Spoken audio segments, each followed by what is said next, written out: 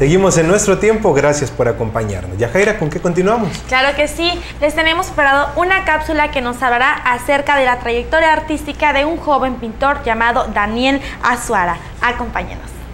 Aquí en el estado hemos tenido poco a poco exposiciones y, este, y pues yo los invito a que realmente vayan, vayan con las ganas de poder aprender algo nuevo, de, de adquirir un poquito de cultura, porque a veces es importante para nosotros también conocer un poco lo de lo que estamos rodeados, porque los artistas tratamos de mostrar lo que estamos viendo socialmente, lo que estamos viendo en, nuestro entorno y, este, y por medio de, del arte lo expresamos de a veces maneras puede ser interesantes, divertidas o que te puedan eh, sorprender. Entonces, pues adelante, esa sería mi invitación para que, para que pudieran asistir un día de, que tengan libre.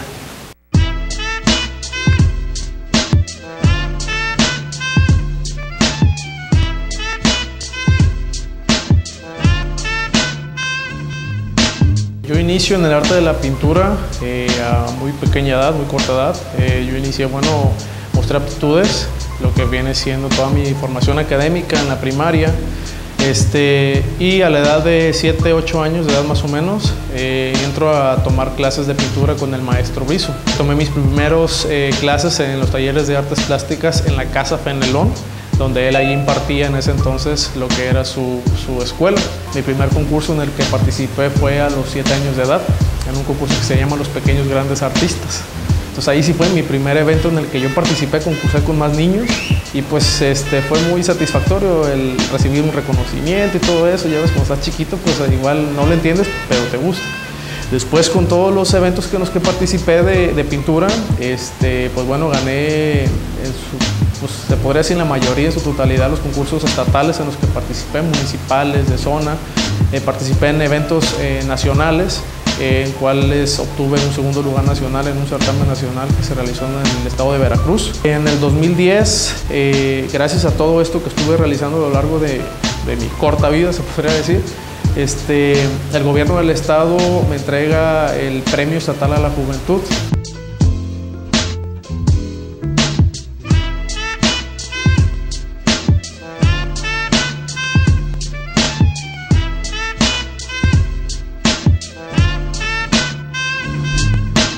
La Universidad Autónoma de Nayarit, a pesar de que no soy egresado de la universidad, para mí es una casa muy importante. Este, le agradezco yo mucho la invitación y, este, que me han tenido, el afecto que he tenido con, con, los dirigentes de ahí, porque el abrirme el espacio para exponer mi primer, montar mi primera exposición individual, que se tituló Percepciones en la Biblioteca Magna de la Universidad, fue para mí muy importante porque yo lo tomé como un inicio de algo más formal de todo esto y posteriormente se me hace la invitación el año pasado a, exponer en el edificio de Asuntos Internacionales de la universidad. Fue por motivo del natalicio del poeta Amado Nervo. Entonces ahí monté lo que fue una exposición que se titula Entornos.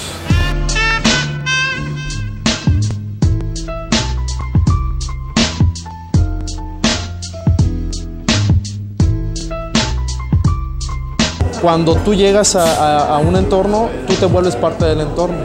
Entonces es cuando nosotros como materia universal formamos parte del todo. Entonces de eso se trataba esta exposición, donde tú te pararas frente a la pintura y te hicieras parte de ella.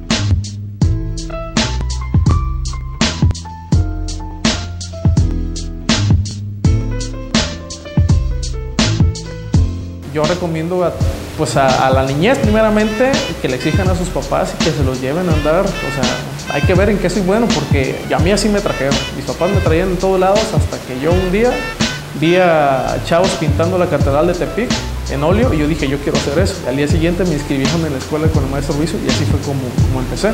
También a los jóvenes que es importante, yo lo recomendaría que se metieran un poco al arte porque igual ahorita tenemos este, muy distorsionados nuestros gustos, vemos cosas que, o sea, queremos, eh, nos interesan cosas que realmente no valen la pena.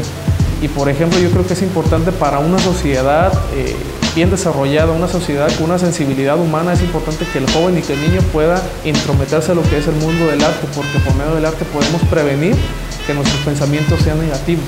O sea, podemos generar pensamientos positivos, podemos generar pensamientos más sensibles que pueden disminuir, yo creo, en gran medida muchas problemáticas que se están viviendo socialmente ahorita.